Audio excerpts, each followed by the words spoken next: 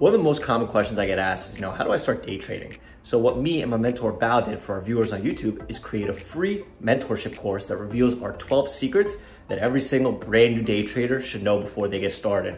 But please take note that there is limited seating every single week. So please reserve your spot at myinvestingclub.co. Link is in the description. All right, enjoy the video, guys. What's up, everyone? It's Tom Dizo here. Uh, hope you guys had a great weekend. Uh, today we just had, you know, a really amazing weekend mentoring session. Uh, you know, so if you missed that, uh, please, uh, you know, go back and try to read all the questions, uh, you know, from the members. I think it's it's it's pretty good.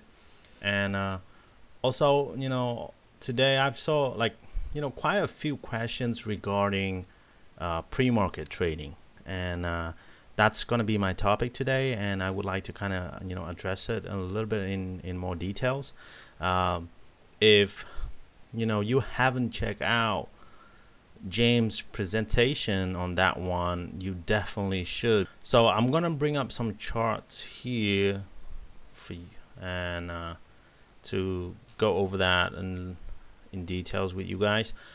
Okay, so one other thing here. So pre-market trading, right? There are, I mean, is it really worth it? I mean, uh, you know, uh, you probably seen a lot of us, uh, you know, trade in the pre-market, and there are a lot of members asking me, uh, you know, to see if it's really worth it, right? Uh, if it's really an edge, or you know, the pros and the cons, uh, you know, from the pre-market trading, and I'm going to lay out some few key points here regarding the pre-market and and uh, you know to me is it really worth it? Not really. Uh, based on my experience based on uh, on the time that I've been trading I mean uh, pre-market.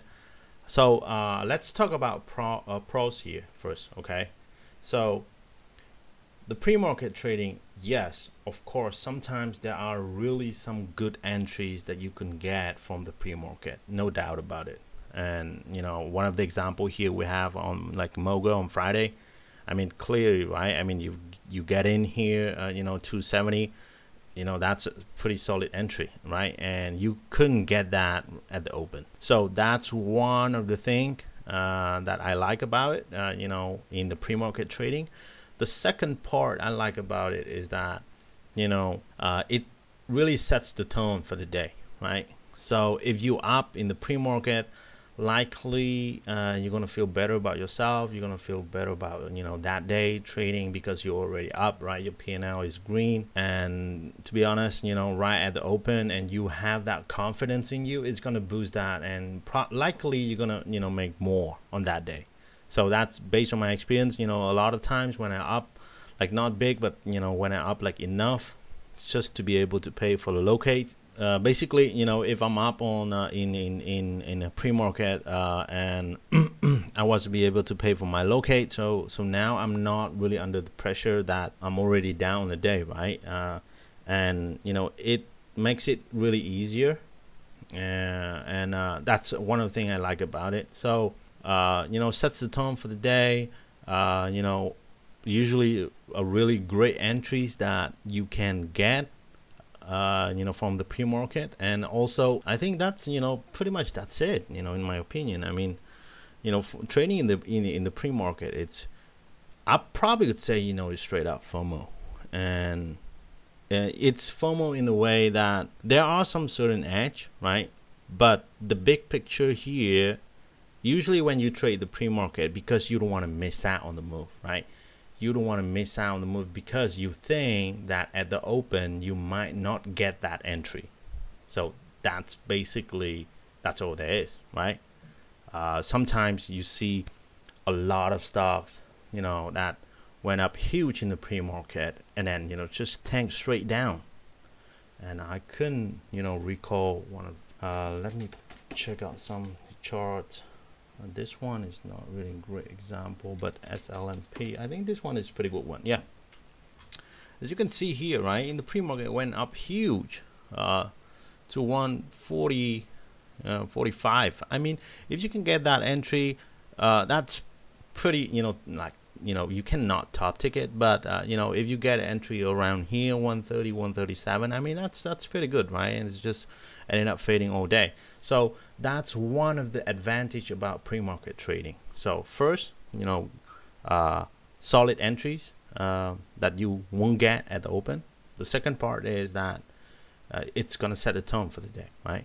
You're gonna, you know, up on the day before the market's even open. You're gonna feel, you know, confidence about yourself. Uh, you know, you pay for the locate, whatever it might be, right? So those are the key kind of facts on the advantage and uh, you know in, in, in the pre-market trading. Now we've gone over the pros and now let's talk about the cons. Okay. And regarding the cons, uh, there are more than the pros. Uh, you know, if I would like to kind of say it. Uh, and one of the thing here is that the thing is about the pre-market, the liquidity sometimes is it's it's really bad. Like there's not much volume traded. Like I yes, of course you could get some. Uh, you know, uh, like if it's a you know day one hot check, you're probably gonna get enough volume to get in, get out. But due to the fact that you know, first of all, less liquidity, and also the big, the major point or like the, the key point here in the pre-market is that you cannot put a hard stop which is you know stop market order right? And you cannot just like slam the market order. All you have to do is you know you have to kind of use the limit order. I mean if you want to slam the bid or just put the fantasy out i mean that's fine but you know you have to be ready when it kind of hits your level and you have to you know hit that limit order stop out limit order right? To kind of uh, you know stop out because you cannot use the market. The terms the market right? Market order is for the markets open. And if you want to trade you know before the market open or after hours you have to use the limit order okay? So that's one thing.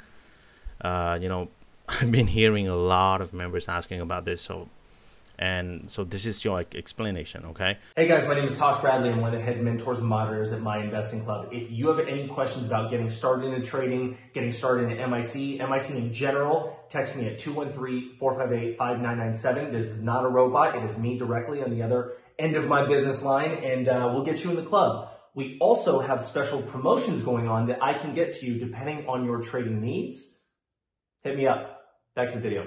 So if you want to trade pre-market, after hours, you have to use limit order. Okay, there's no way around it, uh, and uh, you cannot slam market. Okay, and uh, so um, the major, uh, the key point here, I mean, the biggest advantage, like uh, you know, the biggest disadvantage here in the pre-market is that you cannot put a hard stop on, right? So you have to kind of babysit your position basically throughout, you know, the pre-market until the open. So a lot of the times uh, that I was trading in the pre-market, I mean, yes, I can, I have good entry and also that, but anything could happen, right? In the pre-market, you know, all it takes is, you know, uh, a chat room to get in, right? So stock could easily, you know, squeeze you or like some sort of news, right? And also an offering as well in pre-market. And because there's no hold, you know, in the pre-market or after hours, I mean, if there is, you know, a hold, it has to be you know, like uh, some sort of news, like a big news T12 hold or something. So it's gonna hold for the rest of the day or something like that.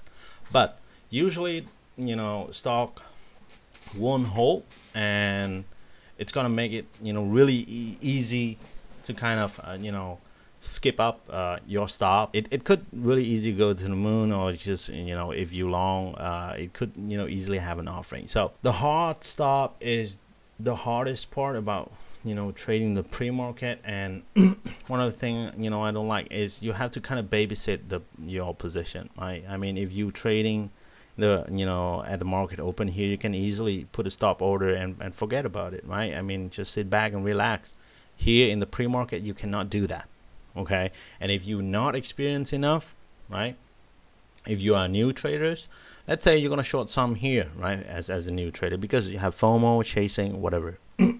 And the next thing you know, stock kind of pop right to this line, and and now you're panicking, right? You try to slam, you try to put a market or a limit, or you don't know what to do after that. So this is something that, again, you know, we not recommend this for anyone. We no, do not recommend this, you know, especially to the new traders because, you know, you want to learn the process, right? You want to learn the the the proper way how to trade, which is put a fantasy out, moment it hits, you know, put a hard stop on, right?